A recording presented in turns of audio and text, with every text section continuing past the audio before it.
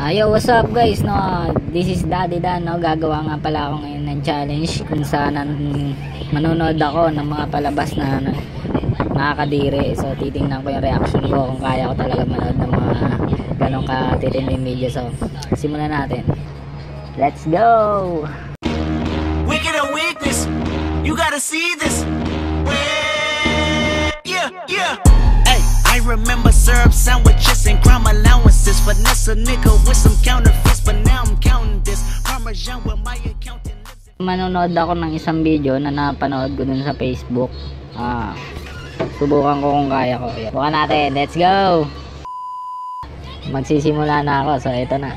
Tingnan natin kung kaya ko nga talaga manood. So, doon ako manonood sa monitor ko. Tingnan na natin. Sabayan niyo ako.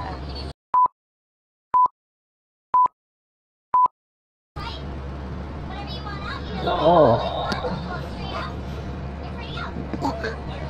Oh my God. Yun oh, ang tindi oh. Halikan eh oh. No?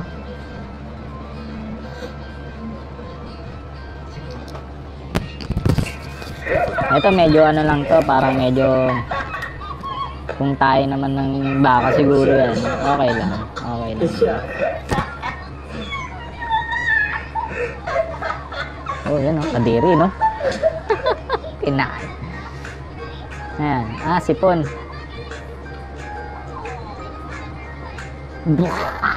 Oh, shit! Ah, Dora. So, mukhang alam ko na mangyayari dito, no? Dora, battery. Dora, Dora, three. Oh.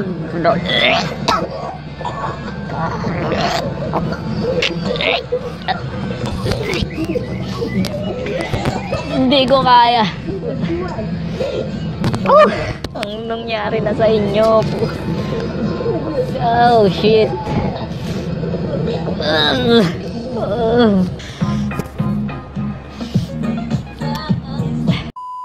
Ah, what's up, no? Daddy Dan is back. Daddy ako eh. Hindi ko siya kinaya, matindi siya. So, Buset! Napaganda na nangyari, no?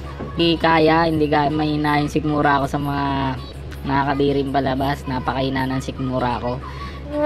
So, bukan nyo rin. Maganda, maganda, the best. Ayun, no? Shoutout nga pala dun sa sa Remigio Braga Clan, Pamilya Polinga, uh, Heartbeat Family. So, kung kaya nyo yan, challenge na yan, gawin nyo. Uh, yun.